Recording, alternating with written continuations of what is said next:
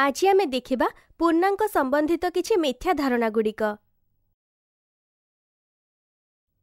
ମିଥ୍ୟା ଧାରଣା ଏକ। ଦିନେ ଶିକ୍ଷକ କଳାପଟାରେ କିଛି ସଂଖ୍ୟା ଲେଖିଲେ ଏବଂ ଛାତ୍ରମାନଙ୍କୁ ଏଥିମଧ୍ୟରୁ କେଉଁଗୁଡ଼ିକ ପୂର୍ଣ୍ଣାଙ୍କ ତାହା ଚିହ୍ନଟ କରିବାକୁ କହିଲେ।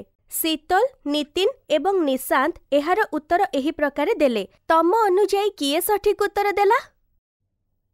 ଅନେକ ଥର କେବଳ ଋଣାତ୍ମକ ସଂଖ୍ୟା ବା ନେଗେଟିଭ୍ ନମ୍ବର୍ସକୁ ହିଁ ପୂର୍ଣ୍ଣାଙ୍କ ବା ଇଣ୍ଟିଜର୍ସ ଧରି ନିଆଯାଏ ଏହି ଧାରଣା ଦ୍ୱାରା ଶୀତଲ ବିଯୁକ୍ତ ଛଅ ଏବଂ ବିଯୁକ୍ତ ସାତ ଉତ୍ତର ଦେଲା ଏହା ଏକ ଭୁଲ ଉତ୍ତର ସେଥିପାଇଁ ବିକଳ୍ପ ଏକ ଭୁଲ ଅଟେ। ସଠିକ୍ ଧାରଣା ଏଇଆ ଯେ ସମସ୍ତ ଋଣାତ୍ମକ ସଂଖ୍ୟା ସମସ୍ତ ଧନାତ୍ମକ ସଂଖ୍ୟା ବା ପଜିଟିଭ୍ ନମ୍ବର୍ସ ଏବଂ ଶୂନର ସମୂହ ବା କଲେକ୍ସନକୁ ପୂର୍ଣ୍ଣାଙ୍କ କୁହାଯାଏ।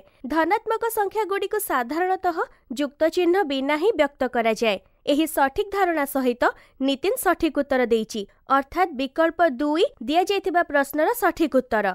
ଅନେକ ଥର ଶୂନକୁ ପୂର୍ଣ୍ଣାଙ୍କ ଧରାଯାଏନି। ଯେପରି ଏଠାରେ ନିଶାନ୍ତ ଏହାକୁ ଅଣଦେଖା କରିଦେଲା। ଏହା ବୁଝିବା ବହୁତ ଆବଶ୍ୟକ ଯେ ଶୂନ ମଧ୍ୟ ଏକ ପୂର୍ଣ୍ଣାଙ୍କ ଅଟେ।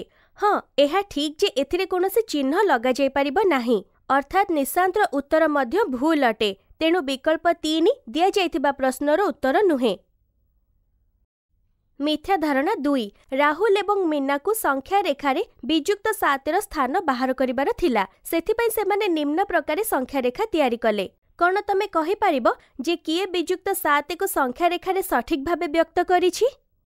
ଅନେକ ସମୟରେ ପିଲାମାନଙ୍କୁ ଏହା ଜଣାଥାଏ ଯେ ସଂଖ୍ୟା ରେଖାରେ ଧନାତ୍ମକ ପୂର୍ଣ୍ଣାଙ୍କକୁ ଶୂନର ଡାହାଣ ପଟରେ ଏବଂ ଋଣାତ୍ମକ ପୂର୍ଣ୍ଣାଙ୍କକୁ ଶୂନର ବାମ ପଟରେ ବ୍ୟକ୍ତ କରାଯାଏ। କିନ୍ତୁ ସଂଖ୍ୟାର ସ୍ଥାନ ବାହାର କରିବା ସମୟରେ ଭୁଲ କରିଦିଆଯାଏ। ଯେପରି ରାହୁଲ ବିଯୁକ୍ତ ସାତକୁ ବ୍ୟକ୍ତ କରିବାକୁ ଶୂନକୁ ପ୍ରଥମ ସ୍ଥାନ ତାପରେ ତା ବାମ ପଟର ବିନ୍ଦୁକୁ ଦ୍ୱିତୀୟ ସ୍ଥାନ ଏହିପରି ବିନ୍ଦୁଗୁଡ଼ିକର ସାତଟି ସ୍ଥାନ ପର୍ଯ୍ୟନ୍ତ ଗଣତି କରିଛି।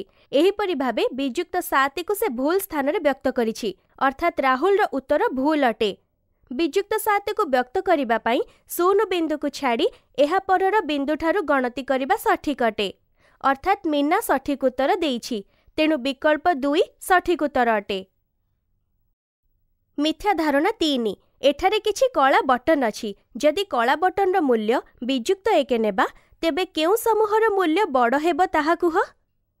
ଏଠାରେ ଆମକୁ ବସ୍ତୁଗୁଡ଼ିକର ତୁଳନା କରିବାର ନାହିଁ। ଆମକୁ ଏ ଏବଂ ବି ଏହି ଦୁଇଟି ସମୂହର ମୂଲ୍ୟ ବାହାର କରି ଏହାର ତୁଳନା କରିବାକୁ ହେବ। ଅନେକ ସମୟରେ କେବଳ ବସ୍ତୁଗୁଡ଼ିକର ଗଣନା କରି ସମୂହ ଏ ର ମୂଲ୍ୟ ବଡ଼ ଧରି ନିଆଯାଏ ଏବଂ ବିକଳ୍ପ ଏକ ଏହି ଭୁଲ ଉତ୍ତର ଦିଆଯାଏ।